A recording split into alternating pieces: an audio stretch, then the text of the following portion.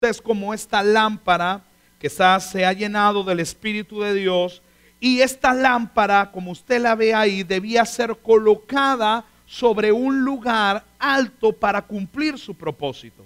Y aquí yo le traje otra imagen que me encontré en internet, donde está el candelero y usted ve esa misma lamparita puesta sobre el candelero. ¿Para qué?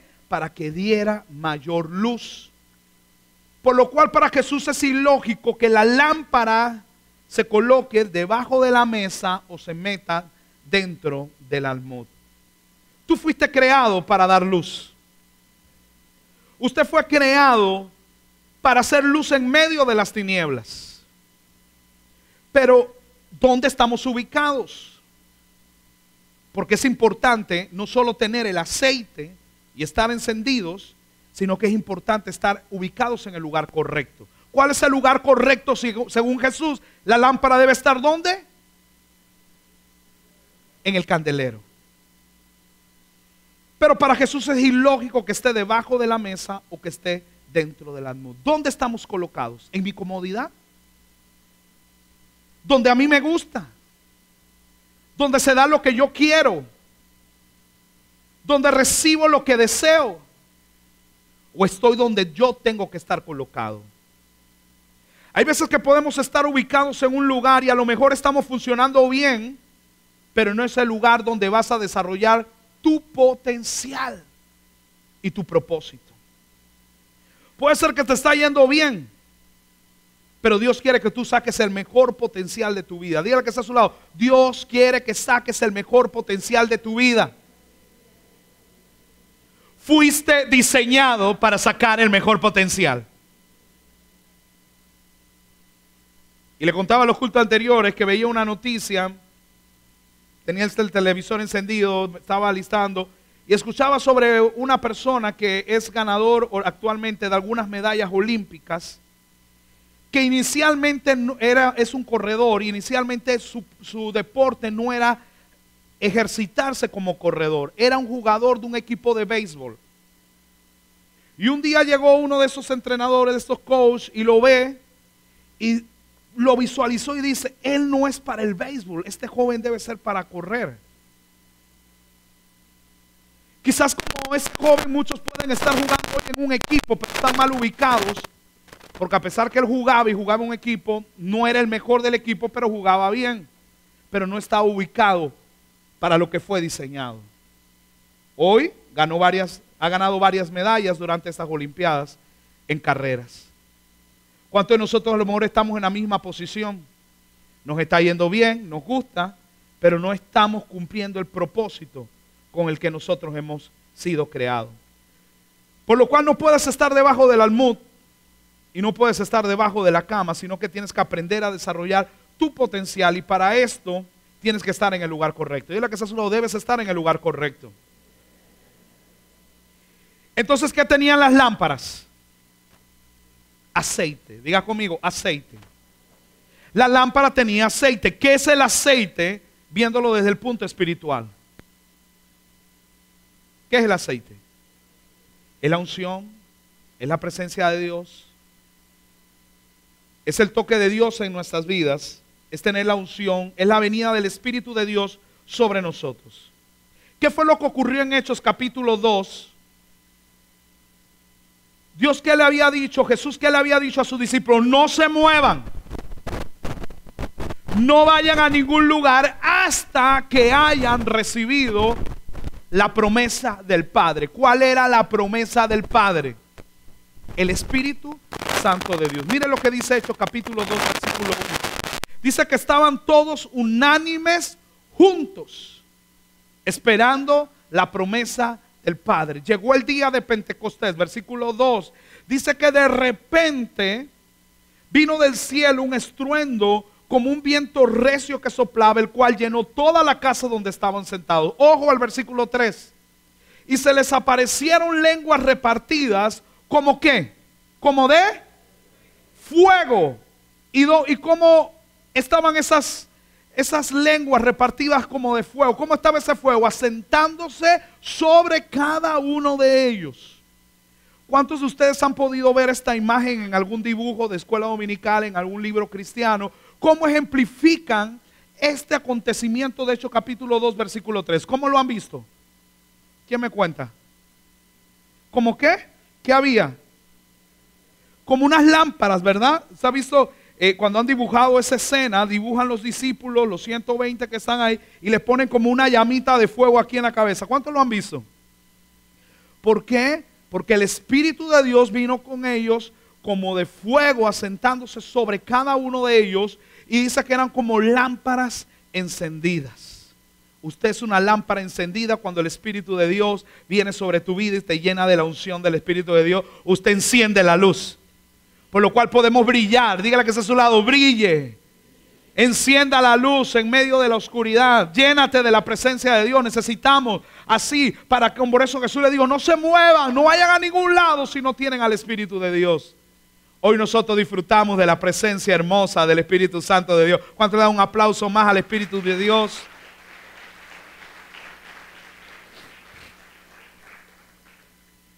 Pero dice que la luz o la lámpara no debe ponerse debajo del almud. ¿Qué es un almud? Ahí usted está viendo qué es un almud. Yo siempre a veces me preguntaba qué era un almud y a lo mejor como usted lo hemos leído y leído, pero no nos habíamos dado quizá la tarea de investigar qué era un almud. Un almud es una caja, una caja de madera que servía para medir una cantidad de semillas. Se dice que la cantidad de semillas que cabe en el almud también se llamaba almud a una cantidad de terrenos, de terreno, y en ese terreno se podía sembrar la cantidad de semillas exactas que cabía en un almud. Entonces un almud era una, un cajón de madera y a veces también tenía ciertas líneas adentro para medir o las cantidades y algunas rayas o marcas que servían para medir cantidades. Es un cubo hecho de madera. Tampoco poner la lámpara debajo del almud para Jesús era algo lógico. ¿Qué pasaría si yo agarro esa lámpara y le pongo este almud dentro de la lámpara, ¿qué ocurre? Pero se apaga de una vez. Por un ratito, mientras hay oxígeno, la luz va a estar encendida. ¿Qué le parece si nosotros estamos encerrándonos en cuatro paredes, llenos de la unción? De nada sirve la unción. Si se nos acaba el oxígeno, nuestras lámparas se van a apagar. Para Jesús es ilógico. Y sabe que muchos cristianos hoy son como una lámpara que nunca sacaron de la caja donde venía esta lámpara desde cuando la compraron. Siguen guardados en una caja. Tú fuiste creado para la alabanza de la gloria de Dios, no para quedarte encerrado en una caja. Tú fuiste creado para la alabanza de la gloria de Dios, no para estar escondido debajo de una mesa. Porque entonces de nada sirve y de nada funciona. Porque no fuiste diseñado, no fuiste creado para eso. Fuiste creado para hacer luz en medio de las tinieblas. Alguien diga, aleluya. Entonces de nada me sirve a mí que yo me esté llenando, llenando, llenando de la presencia, de la unción, del aceite de Dios, si no voy a cumplir mi misión. De nada me sirve. No vale para nada, no tiene ningún valor. Por eso Jesús está diciendo, de nada sirve, ¿para qué poner la luz debajo del almudo, debajo de la mesa? No sirve, no funciona. ¿Por qué? Porque no está cumpliendo el propósito con lo que fue diseñada si nos mantenemos ocultos, si nuestra luz la estamos metiendo en un cajón, si nuestra luz la estamos metiendo debajo de la mesa, esto no está funcionando para iluminar y no está dando la utilidad necesaria. ¿Por qué? Porque no estamos cumpliendo la función por la que fuimos creados. ¿Por qué? Porque no se está iluminando nada. Su entorno está en tinieblas muy contrario a la luz colocada sobre el candelero. Porque entre más alta está la luz, también va a irradiar más luz. Su radio de luz va a poder llegar más. Es como los postes de luz en la calle. ¿Por qué la luz del poste está arriba y no se la pusieron abajo? Porque solo iluminaría un poquito acá. Pero al estar arriba está iluminando mucho más. Para que tú puedas iluminar la mayor zona posible. Para que aunque físicamente no podamos llegar a algún lugar, el que está lejos pueda ver la luz. Porque yo le aseguro, si usted estuviera en una montaña perdido, si usted estuviera en un desierto perdido, si usted estuviera en algún lugar desolado, frío, oscuridad a su alrededor, usted, alguien puede prender a lo lejos un foco pequeño y a lo lejos alguien va a ver que ahí hay una luz. Es lo que hoy estamos necesitando en medio de una generación perversa, malvada, donde la oscuridad está. Necesitamos que alguien vea una luz, un faro de luz en algún lado, porque si usted está necesitado, usted va a correr donde esté esa luz, porque usted va a saber que hay alguien que le puede dar esperanza, alguien que le puede dar salvación, alguien que te puede brindar una ayuda en un momento de necesidad. Pero ¿dónde está la iglesia? No podemos culpar de la violencia al gobierno, no podemos culpar de los índices de violencia a la policía. Es responsabilidad de la iglesia, porque donde hay luz, la tiniebla debiera desaparecer. No le endosemos esta responsabilidad. No me endose esa responsabilidad a otro, es mía. ¿Y cuántos se acuerdan cuando estábamos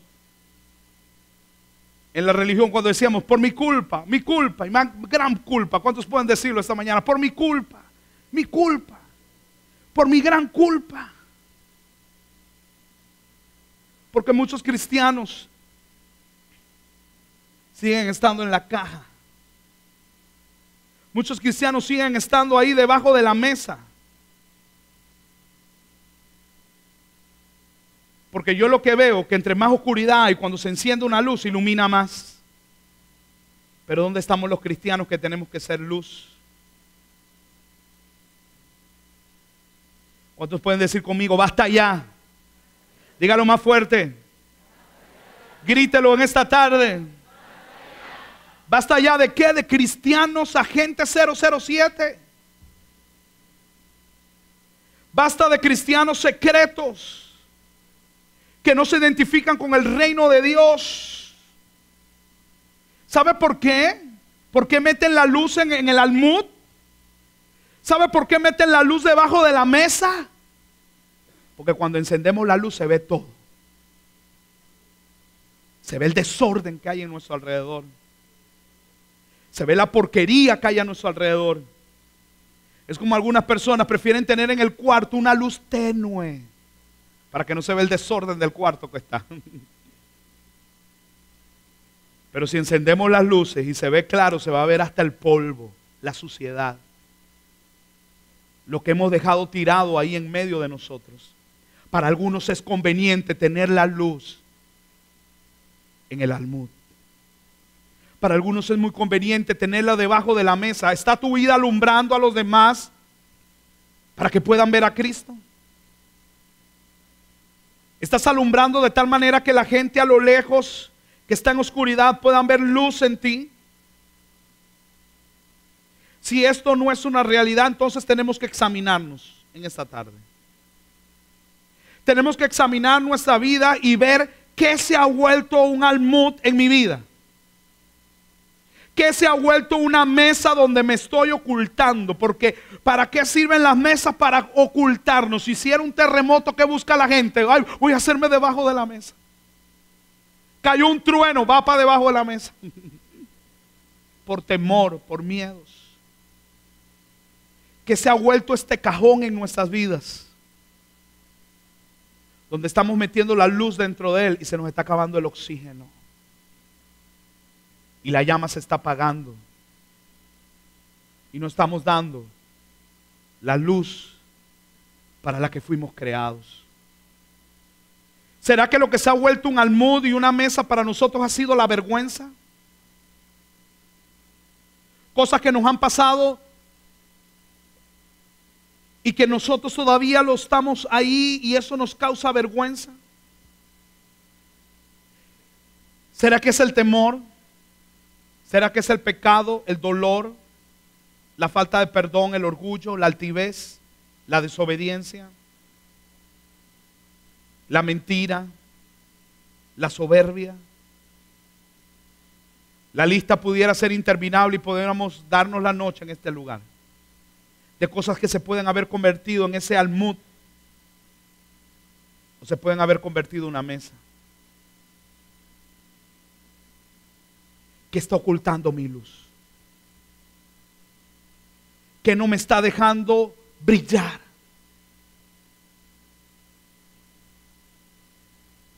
Y si en esta tarde el Espíritu de Dios habla nuestro corazón para poder ser colocados en el candelero, nunca se le olvide esta enseñanza. Solo lo que está en el suelo se puede levantar. Y si hoy somos como esta botella de agua, pidamos al Señor que nos levante y nos ponga en el candelero para poder alumbrar en medio de la oscuridad a quienes hoy lo necesitan. Y solo con la humillación, y hay un secreto cuando doblamos nuestras rodillas y pedimos perdón al Señor y nos humillamos bajo la poderosa mano de Dios. Volvamos al texto, Marcos capítulo 4, versículo 21. También les dijo, ¿acaso se trae la luz para ponerla debajo del almud? No. ¿Cuánto diga conmigo? No. ¿Para ponerla debajo de la mesa? Sino que es para ponerla en el candelero. Y ojo, el versículo 22. Porque el versículo 22 no lo podemos cortar ni separar porque nos comienza diciendo ¿por qué? ¿Y por qué? Quiere decir que va unido al versículo 21. Entonces no puedo separar esto. Porque no hay nada oculto que no haya de ser manifestado ni escondido que no haya de salir a la luz. Vuelvo y digo, ¿será que hay cosas en nuestra vida, en nuestro entorno, en las que no queremos que se alumbre para que no se vea el desorden y la porquería que tenemos? Recuerde, número uno, necesitamos el aceite.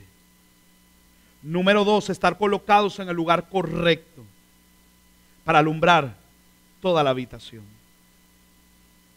Si nuestra ciudad está en oscuridad, ¿de quién es la responsabilidad? No sé si ha visto las noticias y no es para nada honroso. Antes éramos el tercer lugar más peligroso esta provincia es la tercera provincia más peligrosa.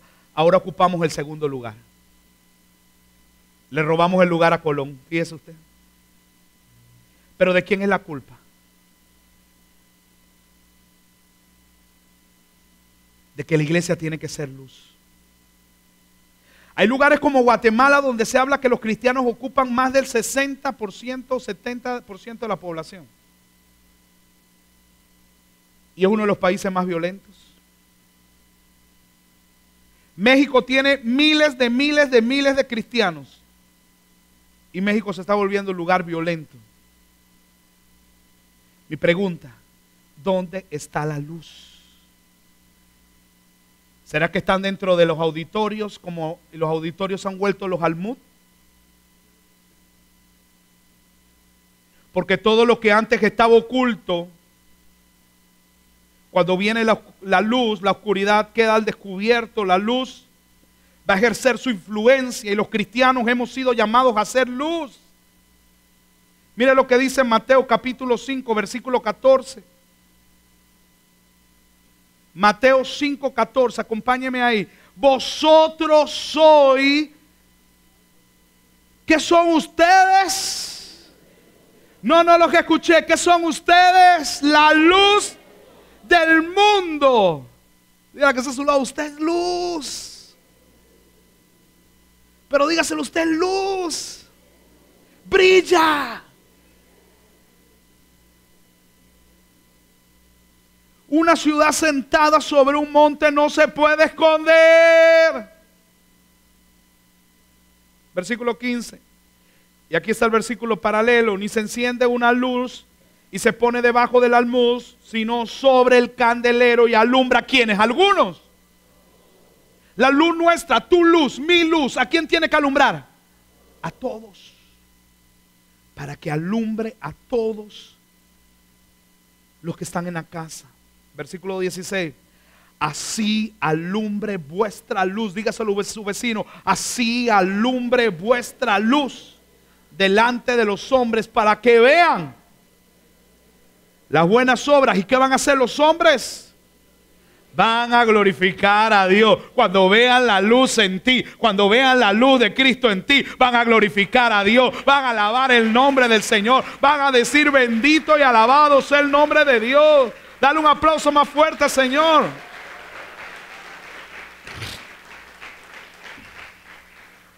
Vamos a Filipenses capítulo 2, versículo 15. Para que seáis irreprensibles y sencillos. Hijos de Dios sin mancha en medio de una generación como maligna y perversa. Y en medio de una generación maligna y perversa, en medio de la cual resplandecéis como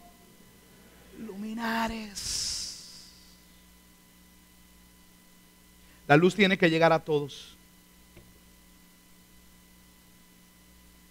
El mensaje no es para un grupo selecto. El mensaje no son para unos cuantos. El mensaje que hoy se ha sido entregado, la luz que se ha puesto en nosotros, es para que llegue a todos. Y es aquí donde ligo la parábola del sembrador. ¿Qué nos dice la parábola del sembrador? El sembrador salió a sembrar la semilla. Dígalo conmigo. El sembrador salió a sembrar la semilla. En aquel tiempo la gente vivía en ciudades, algunas de ellas fortificadas, resguardadas por muros. La gente dentro de la ciudad estaba segura. Pero aquellos sembradores tenían que salir de la ciudad y se exponían a ser asaltados, a que los mataran, algún animal, alguna fiera, alguna situación, al sol, a las condiciones climatológicas, pero el sembrador salió a sembrar. Lo que quiere decir que nosotros como sembradores también no nos podemos quedar cerrados en este almud.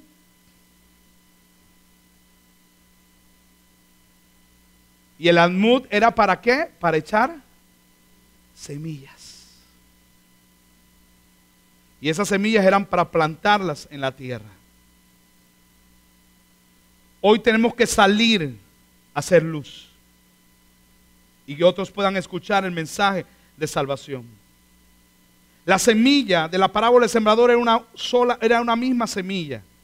Lo que cambiaba era el tipo de tierra donde la semilla cayó. El mensaje no es para que nosotros tengamos un mensaje y lo tengamos encerrado en una caja o estemos escondidos por nuestros temores debajo de una mesa. La luz tiene que poner ponerse en un lugar alto para que sea visible y pueda llegar a todos y alcance al mundo entero.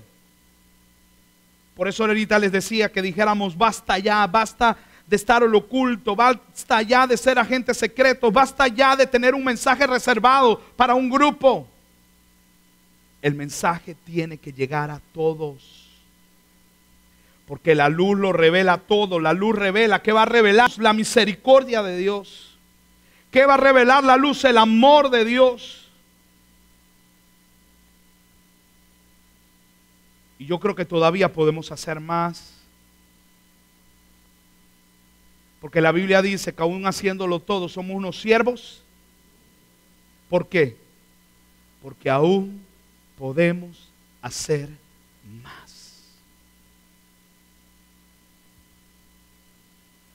Mi esposo y yo nos encontramos una persona en el supermercado y nos felicitaba y decían, Pastor, quiero felicitarlos a ustedes y a su iglesia por ser una de las iglesias de mayor crecimiento en esta provincia. Ustedes han crecido muy rápido en tan solo 10 años.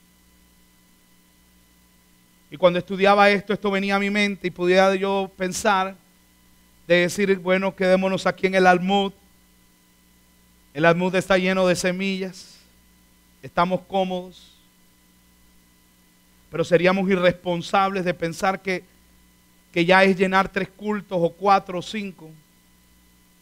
Mientras exista alguien necesitado en esta ciudad, tenemos mucho trabajo que hacer. Por lo cual tenemos que salir de nuestra comodidad.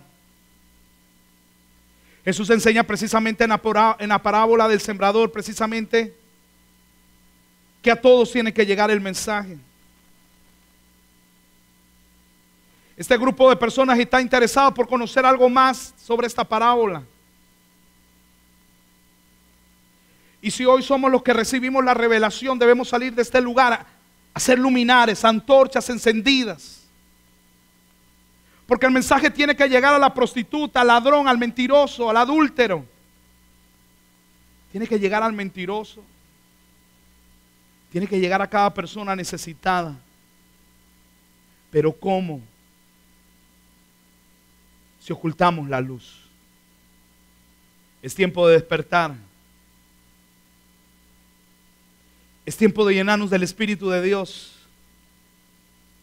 Encender nuestras lámparas y ponerlas en un lugar visible. Que la gente pueda encontrar la luz de Cristo. Es tu responsabilidad es mi responsabilidad. Por eso termina Jesús diciéndole que tiene oído para oír, oiga, es una advertencia. Ahí en Marcos capítulo 4, 23 termina diciéndole, si alguno tiene oídos para oír, oiga. Esto es un versículo de advertencia de la parábola del sembrador. Por eso usted está escuchando este mensaje, usted está en un grave problema. Porque usted no está desconociendo la verdad. Yo espero que ustedes no sean como los espinos. El que tiene oído para oír, oiga. Lo que sí yo creo que la gran mayoría de este lugar es una buena tierra. El sembrador salió a sembrar la semilla, una cayó junto al camino, uno por los pedregales, uno en los espinos, pero una parte cayó en buena tierra. Y yo confío en Dios que en esta tarde, en este lugar, la palabra que está siendo esparcida como semillas, semillas, semillas, están cayendo en una tierra que tienen oídos para oír lo que el Espíritu está hablando y que nos está diciendo que es tiempo de que seamos luz en medio de la oscuridad para que muchos puedan conocer la luz de Cristo. Y tú eres el instrumento que Dios va a usar para que su nombre sea glorificado en medio de la ciudad, para que sea glorificado en medio de la nación, para que la gente diga, Dios es real, Dios es verdadero.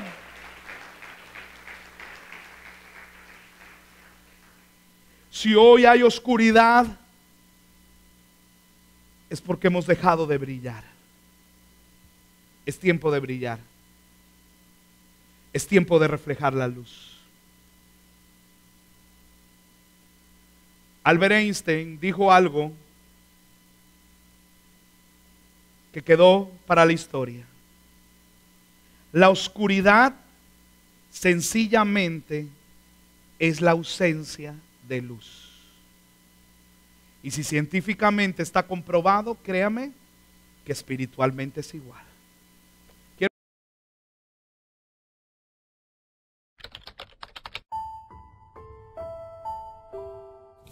Les probaré a ustedes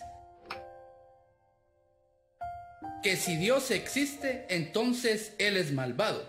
¿No fue Dios quien creó todo lo que existe? Si Dios creó todo, entonces Él creó la maldad, lo que significa que Él es malo. Disculpe, profesor. ¿Existe el frío?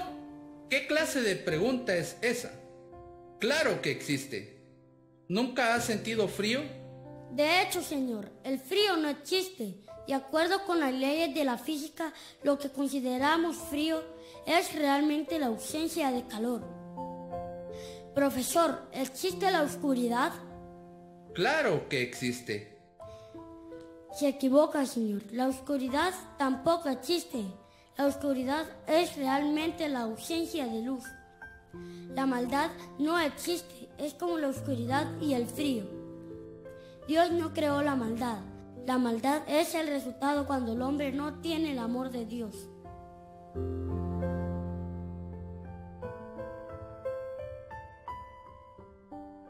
Póngase de pie, por favor. Cerremos nuestros ojos solo para conectarnos un momento con Dios.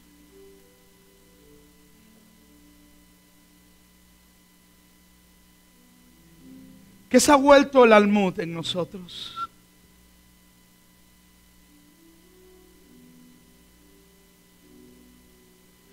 ¿Cuál ha sido la mesa en la cual hemos ocultado la luz debajo de ella?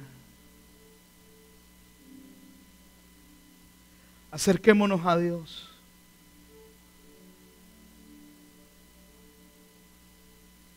Examinemos en nuestras vidas. Salgamos de esa caja.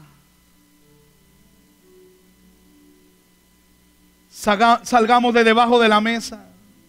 No fuiste diseñado para eso. No fuiste diseñada para estar en oculto.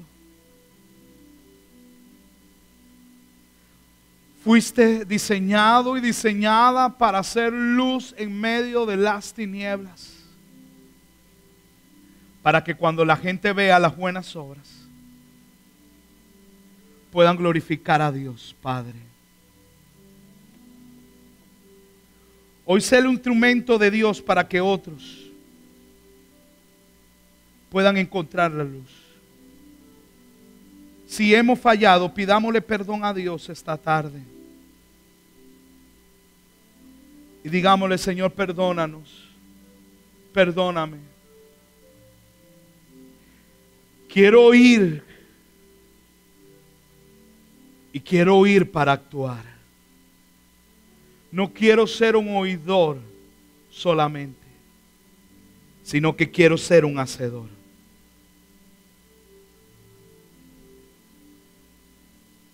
Enciende una luz en medio de la oscuridad. Enciende una luz, déjala brillar la luz de Jesús que brille en todo lugar, no la puedes esconder, no te puedes callar ante tal necesidad. Enciende una